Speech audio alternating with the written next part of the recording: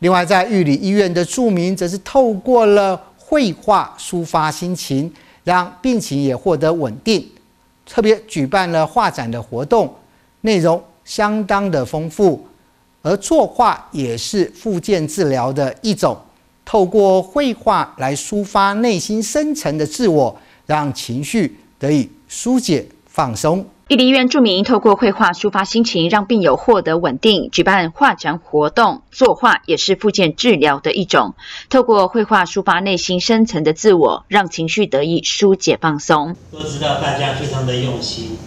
艺术它是可以疗愈人心。如果你心里面有什么不愉快，走向我们的艺术，有绘画，有我们的陶艺，可以让你有疏解的这个效果。透过静态的艺术治疗，从生理延伸到心理，增加治疗过程中的乐趣，真诚表达内在情感跟想法，提升自我觉察、人际情绪抒发以及问题解决能力，对复健的效果有注意。创作本来就是一项比较不容易的得到的才华，这样子，尤其对身心障碍的朋友来讲，这更是难中之难，这样子哦。所以今天我们很有幸能够在这边看到他们完美的作品啊，哦。这一定是在他们在最好的状态下发挥的潜能这样子，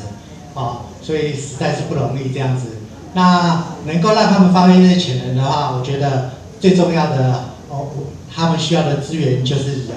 人是他们最好的辅具。那我们的所有的人都能够帮助他这样子。那在